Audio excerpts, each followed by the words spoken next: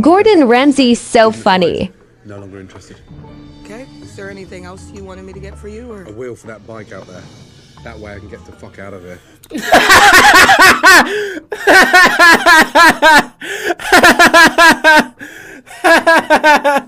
Bitch.